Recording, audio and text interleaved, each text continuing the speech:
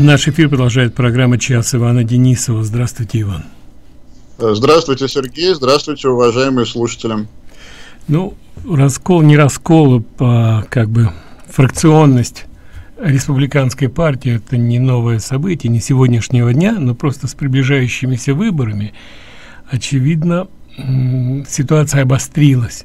То есть как бы более глубокий раскол произошел. Определились два лагеря. Один лагерь – это эстеблишмент, и второй лагерь – это э, люди, которые поддерживают идеологию, предложенную Трампом.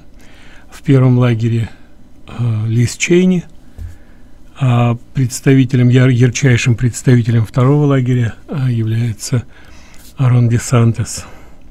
Вот об этом, если можно.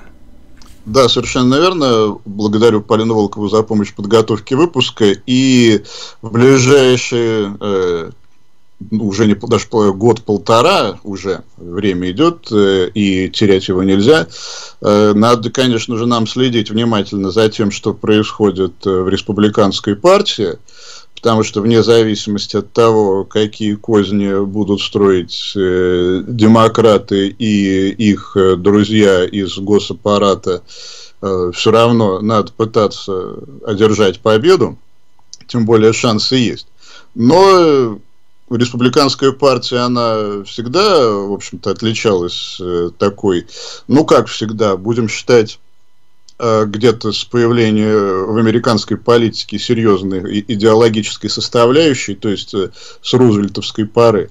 Э, как бы то ни было всегда, вот были какие-то два крыла, в отличие, скажем, от демократов которая партия гораздо более разрозненная, и, как ни странно, это может прозвучать, но такая ее разрозненность, она позволяет ее и так или иначе объединять даже когда в те же 30-60-е годы оставались какие-то более-менее консервативные демократы. А, что касается республиканцев, то не буду пускаться в какие-то глубокие исторические а, экскурсы, но скажу, что а, положительный момент у сегодняшнего вот этого распределения э, своеобразного в том, что нынешние ну, официально и более яркие, более заметные представители истеблишмента, они гораздо правее, чем, скажем, либеральные республиканцы 60-х, 70-х э, годов. Но, с другой стороны, э, это вряд ли э, их говорит в их пользу, потому что, да, хоть по ряду направлений экономических, например, они вроде бы правее, но они, увы, лишены какого-то бойцовского запала, и это означает, что, окажись у власти, скорее всего, вся вот эта вот их э, внешняя провизна, она будет э, загублена э, компромиссами, капитуляцией и всем, что с этим связано. И действительно, если мы с вами посмотрим на людей, которые так или иначе а, представляют вот это вот э, крыло, ну, назовем его, э, да, даже не либеральное, все-таки здесь не совсем прозвучит, назовем его капи э, капитуляционное, пусть это будет слишком сурово, но так оно и есть. А Ромни, который очень удивлялся, почему его освистывают, и как раз Лес Чейни которая, напомню, занимает сейчас вообще-то третью по значимости, третий по значимости пост в Палате представителей – так как э, она, вот эта вот фракция Republican Conference, э, это, серьезный пост, и выше нее только Скализ и Маккарти. Маккарти, кстати, тоже личность, мягко говоря, так себе. Ну вот, э, тем не менее, Ромни, напомню, еще в 2012 году воспринимался, пусть и сквозь зубы, но как кандидат в том числе и консервативный, чем все это закончилось, мы все прекрасно помним. А Чейни, она, конечно же, в тени своего отца находится, даже родителей. И родители у нее, так скажем, все-таки люди достойные. А, Дик Чейни, я напомню вам, был э, едва ли не самым ненавидимым до Трампа из э, э, живущих республиканцев. А, и Лин Чейни, отличный историк и писатель, кстати, весьма консервативного тоже направления. И к тому же, при этом сам Чейни и его друг э, Рамсфелд, э, э, к обоим отношусь, повторю, с уважением, к Рамсфелду с большим, а, это люди весьма и весьма умелые, которые такие никсоновские республиканцы, если хотите, то есть они могли находить язык общий с кем угодно. А, и с консерваторами, хотя порой шли с ними на конфликт, и с истеблишментом, хотя порой тоже шли с ним на конфликт. Более того, а, Фридман, знаете, знаменитый экономист э, и человек незаурядный, он вообще считал, что если бы Рамс, э, Рейган сделал Рамсфилда вице-президентом вместо Буша, то, скорее всего, ни Буша, ни Клинтона не было бы что у Рамсфилда гораздо больше был консервативный потенциал.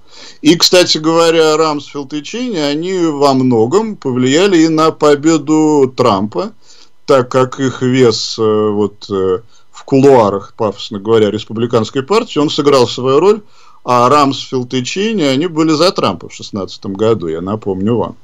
А вот. Но в последнее время, когда Чейни вдруг стал позировать в маске, то, прям скажем, несколько в моих глазах он упал. А, то есть, я понимаю, человек пожилой, пусть он в маске ходит, но зачем нам-то все это опять навязывать? А вот э, Лиз Чейни, это вышла из тени, и хотя по ряду направлений она вроде бы голосовала вполне в таком э, усредненно-консервативном духе, так его назовем, но э, с ее восхвалениями доктора Фаучи и с ее поддержкой импичмента она, мягко говоря, показала себя не с лучшей стороны. То есть э, я прекрасно понимаю, что голосование это абсолютно дело совести, а не партийной дисциплины на самом деле. А, но если у человека высокий пост, если человек э, ориентирован на то, чтобы партию объединять, и если человек видит, что партия и избиратели вообще-то президента поддерживают, э, то идти на конфликт ей, я считаю, смысла не было. И это ни к чему хорошему не привело. И то, что на сегодняшний день против нее выступают э, весьма и весьма консервативные представители Палаты представителей, ну, в частности, Джим Бэнкс, которого я недавно упоминал, э, возглавляет он тоже одну из самых правых фракций республиканских в Палате, э, Republican Study, так называемую, говорил вам про них, а так как они сейчас критикуют Байдена за за то, что с Путиным он э, неправильно себя ведет, в смысле слишком мягко. Ну вот Бэнкс считает, что Чейни проваливает свою работу как э, человек, который э, должен республиканцев объединять и единым фронтом противостоять Байдену и компании. И для меня оценка Бэнкса на самом деле даже выше, более значительнее, чем те или иные позиции Чейни по каким-то определенным моментам, потому что э, она может быть более консервативной, может быть менее консервативной, но э, тот, если консерваторы в палате ее лидерством недовольны, значит, надо от нее избавляться.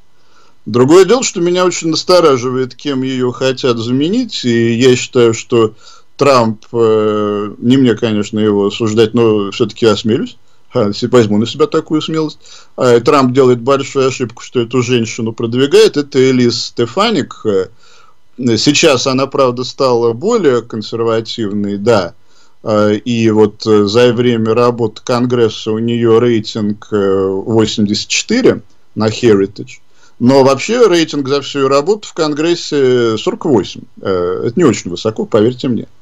И то, что по ряду направлений она как раз занимает позицию э, достаточно либеральную, э, или с готовностью все меняет в вопросах гей-прав, э, и в вопросах э, э, иммиграции. Она выступала против ряда э, э, инициатив Трампа, кстати сказать. Но вот то, что в момент э, кризиса с выборами она оказалась на стороне президента, да, честь ей хвала. Но я все-таки считаю, что этого мало для того, чтобы она получала третью, повторяю, по значимости должность в палате. Тем более у нас и так есть Маккарти, который очень невнятный лидер э, меньшинства. Есть Скализ, который, ну, более-менее. И по-хорошему, третий по значимости человек, это должен быть кто-то действительно э, сильный. Ну, наподобие Бэнкса, Джордана, но никак не Стефаник. Поэтому я целиком и полностью приветствую то, что э, от Чейни надо избавляться, так как если ей недовольны, повторюсь, э, консерваторы в палате, то э, она не должна этот пост занимать. Но то, что ее спешат заменить э, женщиной, только потому, что эта женщина, республиканка, была, по-моему, самой молодой вообще, когда побеждала на выборах в 2014, да, в 2014 году, самой молодой вообще женщиной, победившей на выборах, э, все-таки этого маловато. И если она сейчас действительно переходит на более консервативные позиции, то замечательно. Но стоит все-таки подождать, когда она на этих консервативных позициях закрепится. Потому что Э, с такой непоследовательностью, нестабильностью, э, мы не можем быть уверенным, что она окажется намного лучше Чейни. Поэтому здесь э, как бы не получилось так, что будет замена шила на мыло, и опять в палате республиканцы выстрелят себе в ногу. Так что здесь проблема остается. Посмотрим немного на другой э, ну, лагерь, уж это очень, на другое крыло, которое я называю посттрамповскими консерваторами. И здесь э, пока то, что мы видим, указывает на то, что э, наследие 45-го, оно в общем и целом работает. А именно, что очень важный момент заключается в том, что вот эти вот новые посттрамповские консерваторы, они действительно воспринимают себя не только э, бойцами в, в экономическом плане, хотя экономика никуда не делится, она всегда рядом с нами, это никуда нельзя забывать. Но э, мы видим, что прежде всего тот же самый Десантис, э, они превращаются еще и в культурных воинов.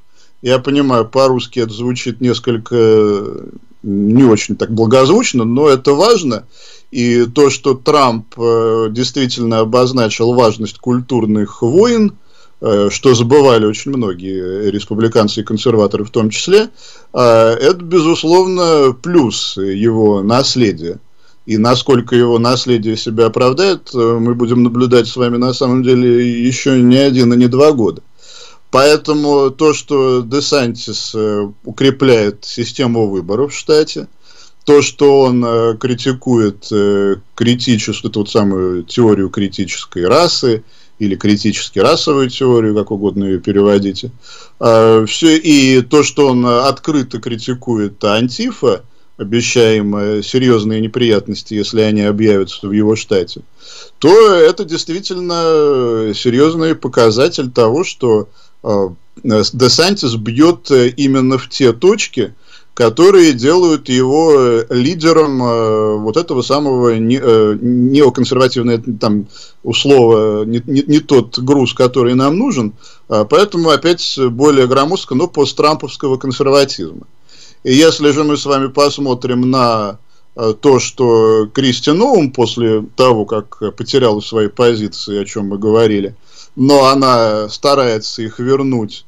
И тоже она берется сейчас за борьбу э, с этой вот самой теорией в своем штате. Э, и более того, что губернаторы и республиканцы, они уже там, даже подписывают обязательства, что будут противостоять насаждению этой теории в школах. Это очень серьезно, потому что это тот э, фронт, который действительно важен. Дело в том, что в Южной Дакоте, где Красный штат, казалось бы, но все мы увидели после вот той самой истории с женскими видами спорта, какую роль играют разнообразные левые организации, э, в образовании в тамошнем э, левизна тоже очень серьезная.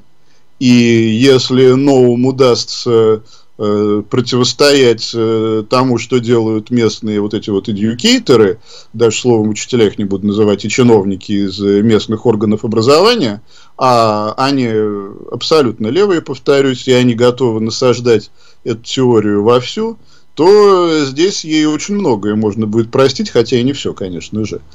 Тем более, что если все эти новые действия Байдена и компании будут проведены и станут э, законами, то тогда этот фронт, э, он еще более обострится.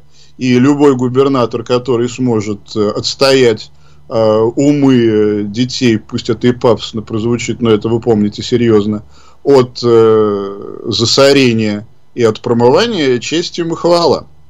Поэтому мы сейчас с вами видим, что действительно э, есть э, достаточно четкое разграничение э, политиков, которые готовы, так скажем, подыгрывать нынешним властям и что-то там в будущем надеяться победить, и тех, кто действительно что-то пытается предпринимать на важных направлениях. Любопытно, что оживился и МакКоннелл, э, которого, я понимаю, многие из вас э, не хотят вспоминать добрыми словами, но МакКоннелл э, пообещал, что он со своей стороны сделает все, чтобы законодательные инициативы Байдена в в Сенате были, да, встретили мучи, мучительную смерть. Я понимаю, что МакКоннеллу сейчас э, верить не очень-то хочется после ряда его высказываний, но МакКоннелл э, товарищ хитрый, и как э, в том старом советском фильме, он э, всегда за тех, кто побеждает. И если мы с вами увидим, что вот этому посттрамповскому консервативному крылу Э, прежде всего, э, губернаторов и законодателей на местах удастся обозначить свою силу, то МакКоннелл будет действовать в их интересах тоже, не потому что он такой замечательный, а потому, повторяю, что откуда ветер дует, он, в общем-то, соображает. И здесь, как вы видите, все абсолютно взаимосвязано. Любая консервативная победа на уровне штата – она может э, иметь эффект и в Сенате тоже. И, возможно, эффект даже и немалый, хотя, ну, об этом, конечно, трудно говорить, что там решит МакКоннелл. И то, что Трамп периодически говорит о своем, там, вроде бы намерении, возможно, участвовать в выборах, я начинаю думать, что это не так уж и плохо – не то, что Трамп будет в выборах участвовать, здесь пока у меня нет мнения, и все будет зависеть от того, какая ситуация сложится в 2023 году. Но его подобные объявления, они будут держать республиканцев, э, если хотите, в напряжении, в хорошем смысле этого слова, потому что вот эти вот э, капи... сторонники капитуляции, э, они будут понимать, что если они выходят на лидирующие позиции, то придет Трамп, и, скорее всего, тогда за них голосовать не будут. А сторонники вот этого посттрамповского консервативного крыла, им, соответственно, надо сделать все, чтобы на выборы шел э, человек от них, который покажет себя более активным, более агрессивным и более последовательным, чем Трамп. Так что э, здесь э, нам с вами еще предстоит много чего увидеть. Э, я понимаю, что мне со стороны это более, как, более умозрительная позиция, чем у вас внутри. Но, как бы то ни было, борьба, как, уже не, не знаю даже какая по счету, за республиканскую партию стартовала. Чем она закончится, посмотрим. Но я вам напомню, что чем более активный, агрессивный кандидат э, побеждает, э, тем больше у него шансов победить и на выборах президентских. А Никсон, э, как к нему не относись, он был именно таким, как я описал, Рейган, Буш в меньшей степени, Трамп как раз такие вот примеры, поэтому пожелаем успеху, успеха Десантиса и тем, кто вокруг него. Пока по-прежнему Десантис лидер. Дальше посмотрим. Здесь умолкаю. Если Сергей что-то добавит, с удовольствием передам слово. а, относ, относительно э, Лиз Чейни. После ее вот этого предательства э, ей был дан второй шанс. Опять ее оставили на месте председателя конференции республиканской – и она удвоила свои усилия по а, атакуя Трампа. Но, очевидно, какое-то крыло республиканской партии ее поддерживает. Понятно, что она не одна, не сама по себе. И поэтому я с вами абсолютно согласен, согласен что ей не место а в руководящих органах партии. Что касается Лиз Стефаник, я не знаю, ну, наиболее яркое впечатление произвело вот на меня ее выступление во время импичмента, поэтому, конечно, я был, так сказать, сражен. А, она меня купила этим. А, так сказать, с другой стороны, меня несколько напрягло такое, а, жа, такое, вернее, а, как бы это сказать, Мака... Кевин Маккарти ее поддержал очень, очень горячо. И к нему у меня особого доверия нет. Поэтому у меня это вызвало некие сомнения. То есть, очевидно, идет же какая-то подковерная игра. А, и вот тут, тут я немного напрягся. Потому что Кевин Маккартни это такой скользкий парень. Это парень из Калифорнии, что называется. Хотя в Калифорнии есть достойные люди – Э, не знаю, не знаю. Но, во всяком случае, это лучше. Я имею в виду Стефаник, это лучше, чем Лиз Чейни. Так что пока я себя успокаиваю. Что касается МакКоннелла, такое впечатление, что он борется, вернее, пытается всегда отстоять свою должность лидера либо большинства, либо меньшинства. Поэтому он себя так и ведет. Кто побеждает, с теми МакКоннелл. Потому что в конечном итоге не исключено, что в 22 году республиканцам каким-то образом удастся э, завладеть большинством, опять будут выбирать лидера и лидера большинства, и поэтому МакКоннелл что-то чувствует, что что-то что-то чувствует его интуиция старого политика, старого лиса. Посмотрим. У нас есть телефонный звонок, если вы не возражаете. Да, конечно. Добрый день, пожалуйста, в эфире. Здравствуйте. Здравствуйте. Я хотела, я хотела спросить, во-первых, Сережа только что назвал Стефаник, э, кто это такая, что-то я пропустила это.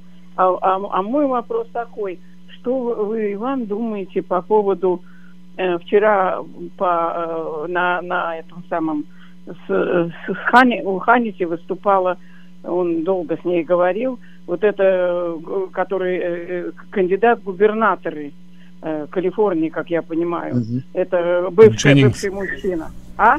Да. Вот да, спасибо. Ну, про, про Стефаника я говорил. Это женщина достаточно, о, о возрасте женском мы не говорим, но как бы то ни было, она правда молодая и побеждала, ей было совсем немного лет. А, до, до вот недавней поры она на себя особого внимания не обращала и голосовала или с демократами, или с э, более либеральной позицией. Но на волне импичмента и защиты президента она действительно поднялась, о чем Сергей говорил и сейчас стало и голосовать все больше и больше с консерваторами. Я повторюсь еще раз, мне представляется, что одного ее успешного выступления маловато для того, чтобы она была лидером, тем более, да, ее тесная связь с Маккарти, с Сергеем согласен, это никак не плюс. Ну, а там э, посмотрим. Если она окажется до, достойным лидером, ну, может быть, но, не знаю, я это не очень какой, это Какой это штат? Какой она из, из Нью-Йорка, э, конгрессвумен. А, она понятно, из Нью-Йорка. Понятно. Понятно. Да. Ну да, МакКоннелл это не лучшая характеристика, поддержка его, да. Маккарти, Он, э, Маккарти, но это, это еще хуже, чем Мак... МакКоннелл, поверьте. Да, да, они оба это такие э, перекра... как это, хамелеоны такие. Я им тоже да, что, да, что касается Дженнер, тут сложно. Э, она, ну давайте будем говорить она, вроде в ряде случаев высказывает разумную позицию, но в то же самое время вот сейчас пишут, что она, например, выступает за, хотя да, чуть ли, чуть ли не про стену говорила, что она выступает за легализацию уже тех нелегалов, которые в Калифорнии есть, за этот вот путь к гражданству. Поэтому у меня уже сразу такой, да, red flag появляется, что все-таки это не совсем то, что нам нужно. Но а вообще, да, она, я, как я говорил в прошлой передаче, мы идем к тому, что если еще Гринелл включится, но мы будем идти к тому, что более-менее самыми консервативными кандидатами в Калифорнии будут э, транс, гей и порнозвезда. Там еще такая Мэри Кэрри есть. Это пока все идет к этому. Идем, идем, идем, как говорится, в русле моды. Ну да, нет, если Гринелл, я ничего против него не возражаю, не имею на самом деле, но сама по себе ситуация, конечно, э, ну, в духе какой-то комедии абсурдистской, если вдуматься.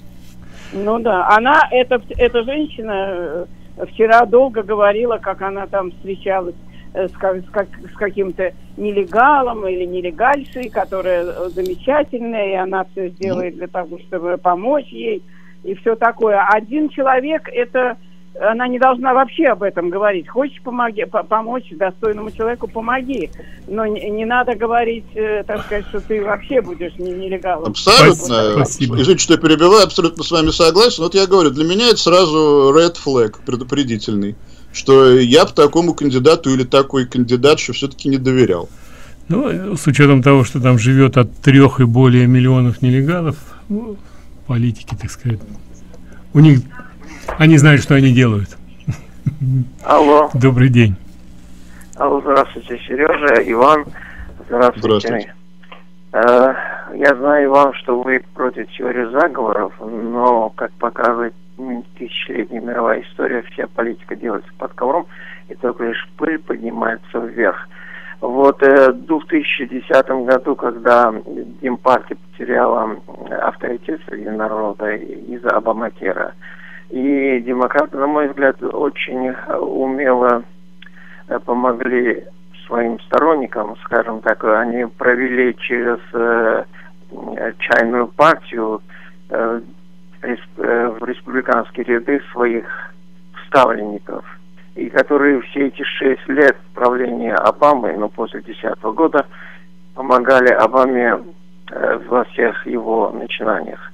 Вот, э, и э, среди них вот так, такие, как вот это э, Чейни и Ромни, конечно, Ромни к, к этому не относится, но тем не менее было их очень много, и в 2018 году чтобы сдать э, позиции демократам, они все хором, 43 или 50 человек из Конгресса, все хором, взявшись за руки, ушли в отставку, а, чтобы э, тем самым перевесить чашу весов в сторону демократов, что и привело э, к проблемам у нас в стране во время правления Трампа. Ну, как вы думаете, демократы все же умнее и хитрее чем республиканцев. Знаете, я не думаю, что все опять э, так, как вы говорите, по той простой причине, что любое э, масштабное движение, оно всегда приносит с собой и достойных людей, и мусор всякий. А, поэтому изначально движение чаепития да, воспринималось как э, вот та самая э, правая сила, которая сдвинет республиканскую партию. И она сработала на тот момент. Но дальше стало происходить то, о чем э, предупреждал э, великий Стэн Эванс. И то, что я часто так цитирую, журналист. А именно, что когда наши люди попадают в Вашингтон, они перестают быть нашими людьми. Поэтому то, что ряд людей, прежде всего достаточно молодых, э, не справились со славой, и просто-напросто не понимали, как им себя вести, будь то Рубио или, например, э, Хейли, э, хотя Хейли в ООН показала себя достойно, но сейчас она мечется, вон сами видите, из стороны в сторону. А, Все это указывает не столько на то, что там были какие-то сознательные агенты Демпартии, хотя они были, конечно же, безусловно. Еще раз говорю, любое массовое движение, оно много кого захватывает. Сколько просто слишком много людей не очень опытных, которые не оказались готовыми, не оказались достойными той роли, которая им выпала. Ну, посмотрите сами, кого приводил Трамп. Вы же не будете говорить, что все люди, которых он назначил, все оказались достойными. К сожалению, тоже нет. Э, более того, многие из них оказались куда большими агентами демократов в конечном итоге, э, чем представители движения чаепития. Я никого не оправдываю, но просто иногда э, все не совсем так сложно, как вам кажется, и простые особенности человеческого поведения и партийной политики, они гораздо более тяжелые и страшные, чем любая теория заговоров. Спасибо, Иван. Давайте мы сделаем небольшой перерыв, послушаем рекламное объявление, после чего вернемся и продолжим.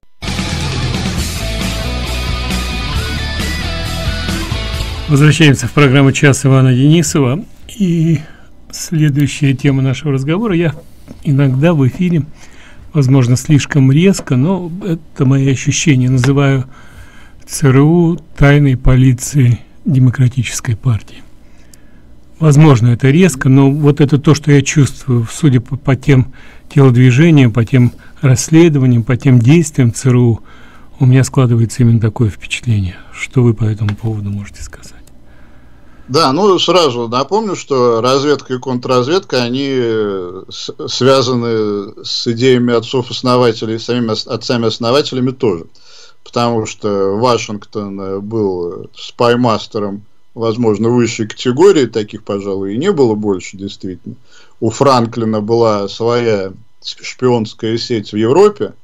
Э, Джон Джей э, создал, можно сказать, первую контрразведку э, в Америке. Поэтому те горячие головы, которые уверяют, что разведка Америки не нужна вообще, те немного ошибаются. Но проблема в том, что служба, так уже серьезная, разведки внешней, она стала создаваться в тот самый момент, когда правительство уже стало практически меняться и от людей избранных на бюрократов.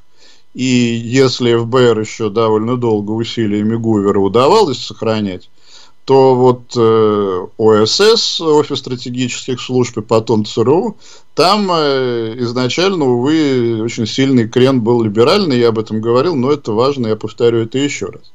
Э, тем не менее, до поры до времени все-таки ЦРУ давал нам таких людей, как э, Кендалл, Бернхэм, хотя от Бернхэма избавились, когда он стал поддерживать расследование Маккарти, и, например, Бакли, Рейган э, очень э, защищал ЦРУ, считая, что действия э, демократов все, в тогда левом Сенате, они ведут к подрыву этой организации изнутри. В принципе, он был прав на самом деле, потому что организация это сохранилась, а вот то, что с ней происходило, ну, по-моему, еще с Даллиса, потому что Даллис говорил, что он хочет создавать либеральное ЦРУ.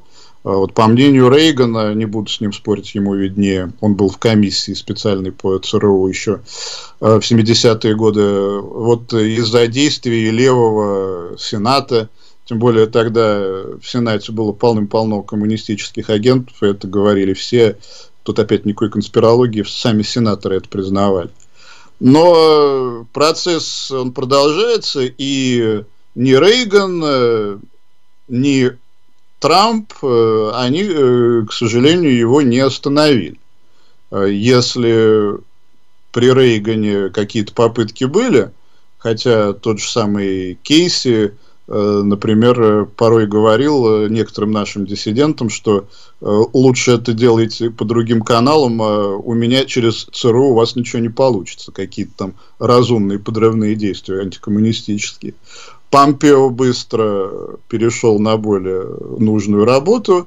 А Хаспел, э, вот к вопросу о неправильных назначениях, оказалось э, тоже такой вполне себе болотным существом. Но то, что деградация, к моему глубочайшему сожалению, продолжается, э, стало понятно вот по целому ряду событий конца апреля, начала мая, которые, во-первых, э, э, э, лично у меня вызывают вопрос, почему все-таки Бреннана не привлекли ни к чему за время президентства Трампа, я понимаю, наверное, не было оснований, но то, что это человек, который, как и положено коммунисту, ЦРУ нанес огромный вред, это вот стало ясно.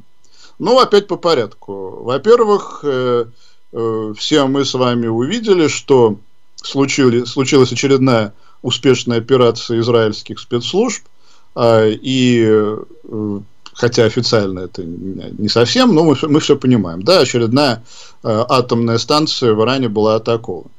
А, но более того, судя по всему, э, Моссад действовал без координации с американской разведкой, что редкость на самом деле, но что вполне разумно, потому как, э, безусловно, это видят э, израильтяне, так как э, в Израиле, я знаю, что многие израильтяне Масадом сейчас тоже недовольны, но там прекрасно видят, что сейчас разведка американская, она будет политизирована, и она будет, не в первый раз, опять это не, не сегодня произошло, она будет работать на то, чтобы создать Байдену условия для возвращения в сделку.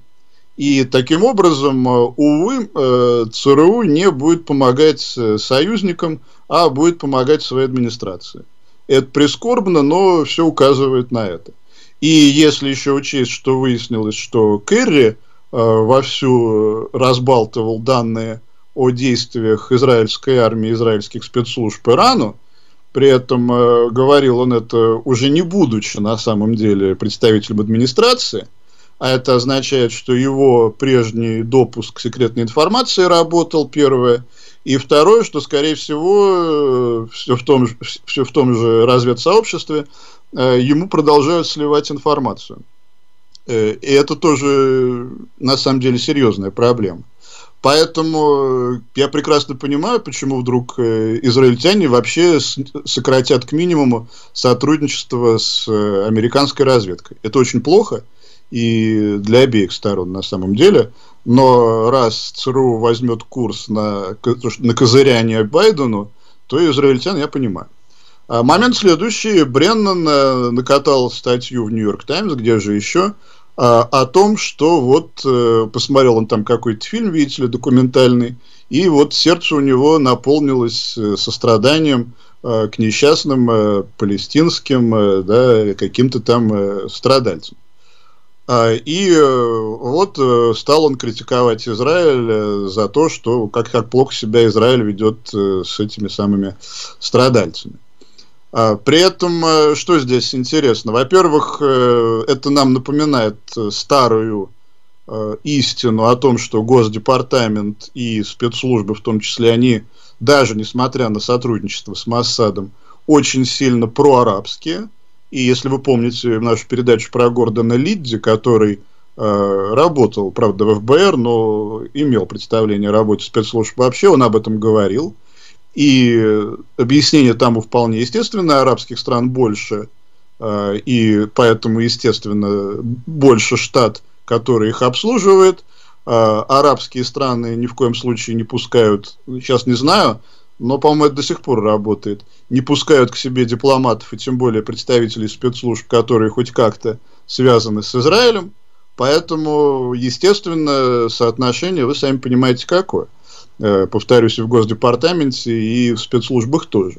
И вот э, эта статья Бреннана, она нам как раз об этом и напоминает. Но, что интересно, разведаналитики адекватные, правда, отставные уже, но я все-таки надеюсь, такие еще остались, а в частности Фред Флайтс, э, который в ЦРУ работал 20 что ли лет, а, он пишет, что на самом деле и по этой статье Бреннана, и потому, что э, сам Флайтс видел, работая в ЦРУ, а, нет никаких разведданных, которые бы обосновывали необходимость создания пресловутого палестинского государства. И более того, до определенного момента, напомню вам, э, республиканские политики и президенты, они самую эту идею отвергали. А, будь то Никсон, будь то Рейган, тот же самый. И только вот э, в определенный момент э, опять пошла вот эта вот политизированность анализа, и вдруг стали всплывать какие-то данные, что для необ... стратегически необходимы и так далее. Но, по мнению Флайтса, люди, подобные Бреннану, они просто-напросто такую информацию за, зажимали, закрывали. И то, что мы видим, это то, что э, реальное положение с разведаналитикой по Ближнему Востоку и по э, пресловутому палестинскому вопросу, оно полностью подчинено политике, и э, реальное положение вещей о нем забыли. Вынесли конъюнктуру и про арабские настроения в бюрократии. Получили то, что получили. Но и этого, оказывается, нам было мало. А, дело в том, что еще в 16 году Бреннан, опять он, ну ничего не поделаешь, он заложил такую мину э, под СРУ, э, видимо, он уже понимал, что ему там долго не продержаться, а именно программу по вот этому, там длинное название, но там было то самое страшное слово diversity. И на прошлой неделе мы с вами увидели это самое diversity во всей красе, так как пошли рекламные ролики о том, э, кого ждут в ЦРУ, и выясняется, что в ЦРУ ждут э, геев и э, женщин латиноамериканского происхождения, которые изъясняются исключительно на леворадикальном жаргоне с каким-то там интерсекционизмом и прочими словами, которые я бы не советовал вам выговаривать, если вы не хотите кого-то обидеть. Тем не менее, получается, что ЦРУ нужны именно такие вот люди. И хотя я прекрасно понимаю, что спецслужбы должны привлекать к себе самые разные кадры э, для того, чтобы так или иначе проникать в самые разные сферы враждебных э, стран, но делается это, по моему убеждению, немного не так, ибо в Тегеране, в Кремле, в Пекине – на Лубянке наверняка очень смеялись, потому что кого, кем вы хотите нас напугать? Геями и феминистками? А, и что иранские, северокорейские, китайские, российские шпионы а, побегут с криками «спасайтесь, спасайся, кто может, геи наступают, не поворачивайтесь к ним задом», а, или что геи, которых полным-полно, естественно, и в наших спецслужбах теперь э, устыдятся и начнут э, спешно бежать э, в ЦРУ из э, Лубянки. Но я как-то в это не очень верю на самом деле. У нас, да, своя мощная гей-тусовка имеется, и вам их не перевербовать, не сомневайтесь. Не думайте даже об этом. К сожалению или к счастью, не знаю.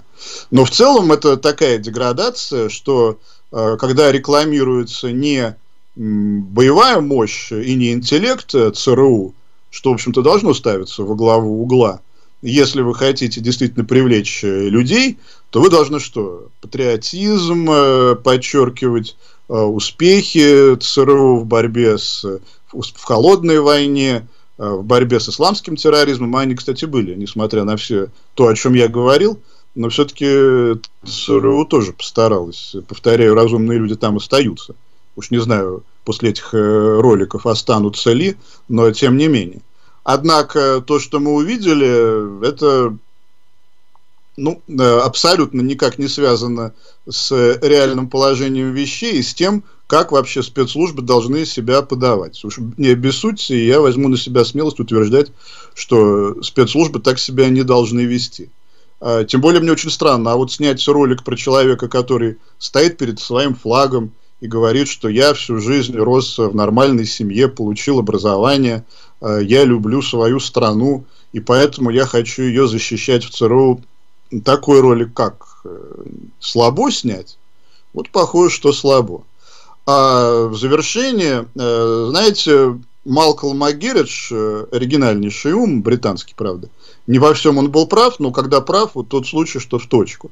Так вот, Магерич работал в, э, в британской разведке в годы войны, знал всех этих шпионов, вроде Филби, кстати сказать. А, и э, где-то это, не поручусь за точность, это из сборника эссе конца 60-х, но когда вот эти эссе были написаны, я сейчас цитирую сразу два, мне сказать сложно. Так вот, э, Магерич сказал, что, во-первых, э, очень серьезная проблема спецслужб, прежде всего британских, это в том, что люди там э, так сильно связаны с ложью, что они начинают в нее верить. Кстати, это касается очень многих конспирологов тоже. А, и в результате представители спецслужб – это те, кого обмануть легче всего. И второе, что еще более важно, еще более важная цитата, Магерич пишет, что после войны произошла такая ситуация, когда э, всех умных, патриотичных и оригинально мыслящих людей из спецслужб уволили. А остались там э, только бестолковые, примитивные, левые и тому подобная публика. Может, он здесь, конечно, преувеличивал, но кто знает. Э, и дальше пишет Магерич, я здесь даже не вижу какого-то предательства или заговора. Правящие классы элита, дословно цитата, когда в кризисе начинает э, предпринять, делать ошибки во всем, нанимать не тех людей, делать не те ходы и э, делать совершенно заведомо ложный выбор. И в какой-то момент правящий класс-элита, они перестают понимать, где их враги, где их друзья, жертвуют друзьями своей страны и полностью доверяют и практически передают власть врагам. Магирич, повторяю, предупреждал это, об этом еще в 50-е, 60-е годы в Англии. Э, мы видим, что действия ЦРУ ведут именно к этому, к сожалению, в Соединенных Штатах. И хотя я и не люблю заканчивать на мрачной ноте, но все-таки придется, видимо, мне сегодня на этом прерваться, хотя время еще есть немного. Поэтому э, давайте все-таки надеяться, что э, предсказание МакГериджа будет услышано, уж не знаю как и когда.